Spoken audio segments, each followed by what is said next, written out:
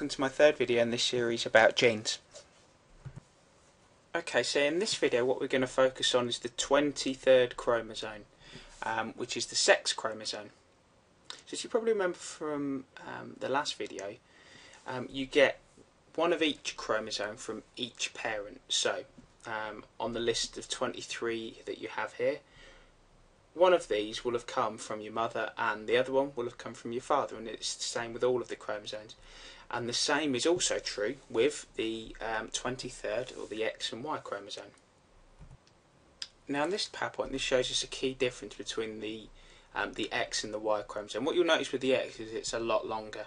So there appears to be a lot more genetic information um, on the X chromosome than there is on the Y. Now, like I said before, one of each chromosome comes from each of your parents, and the same is true um, with the 23rd or the sex chromosomes. Now, this is the code that determines whether you're either um, a male or a female. So, in this case, um, XX is the female and XY is the male. So, therefore, if XX is the female, then the only chromosome that the female can give across is the X, and it's the male that is the one that actually determines the sex of the offspring. So with the male, the male can either give across X or Y. So it's in fact the male that determines um, the sex of the offspring. Uh, so this Punnett square diagram shows us um, the different permutations that are possible. So down here this represents the female and along here this represents the male. Obviously because this is these are the sperm and these are the eggs. Now what you notice here is this and this, these are both X chromosomes because they're the long ones, and hence the sex of the offspring is female.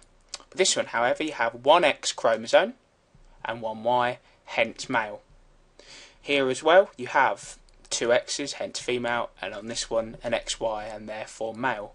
In the general population, there is an even split of um, sperms carrying the X and carrying the Y chromosome. Um, in reality, I believe there's I think there are more females on the planet than there are males. Um, but generally speaking, there is an even distribution of X carrying sperm and Y carrying sperm. You'll notice that all egg cells must carry the X chromosome. And it's on the Y chromosome that there is a gene that basically determines that the embryo will turn into a male. So if you receive two X chromosomes, therefore there isn't this gene present, and therefore the embryo continues to develop as a female. In summary, the 23rd chromosome is the sex chromosome, and of course you get one chromosome from your mum and one from your dad. Um, in the case of your mother, she always donates the X chromosome.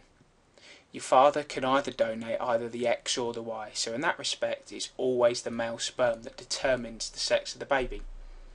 On the Y chromosome, there is a gene that causes the embryo to develop into a male. So if there is no Y chromosome present, this will cause the embryo to develop into a female.